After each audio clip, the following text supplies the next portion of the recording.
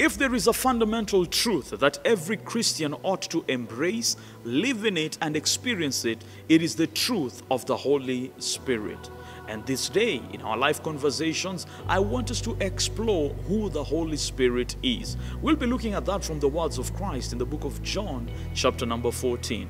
My name is Reverend Daniel Gichana, and I am the National Youth Coordinator for Deliverance Church. I'm excited to be part and parcel of this life series. So, friend, welcome to the life series today.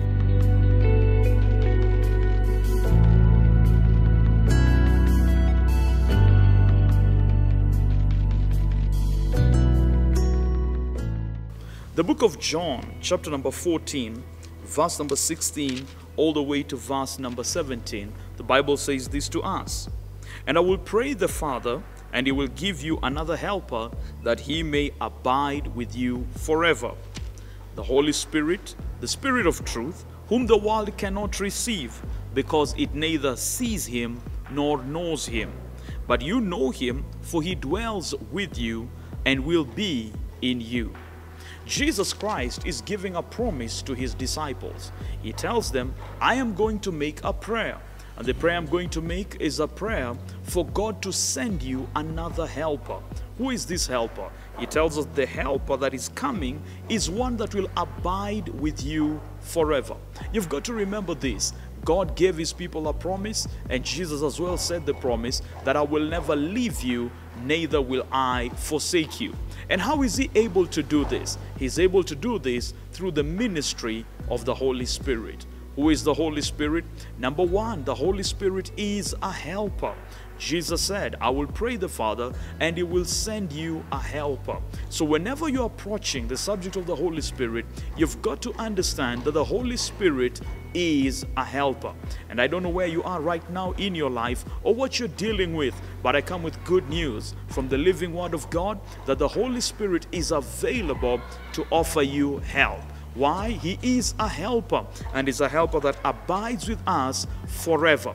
You've got to understand, sometimes in this life, friends will abandon us. Even family members can abandon us. Finances can run out, and every promise we've received from people may never come through.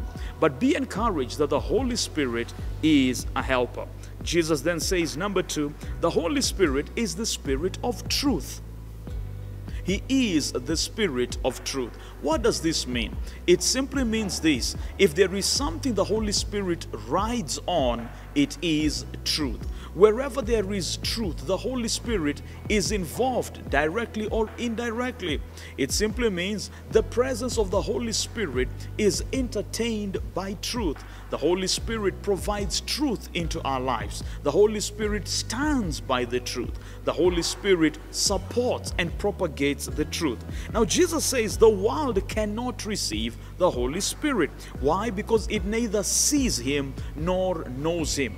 The sight Christ is talking about here is physical sight. And He says when it comes to the Holy Spirit, don't wait for the Holy Spirit using your physical eyes that is going to, to come and, and greet you or tell you, I'm the Holy Spirit, I'm here. No, it doesn't work that way. He says, but you know him for he dwells with you. Now, that is an environmental consciousness of the Holy Spirit. And then he says, and will be in you. That means the Holy Spirit operating in the life of a believer is not just externally, but more so also internally. So it's important for you.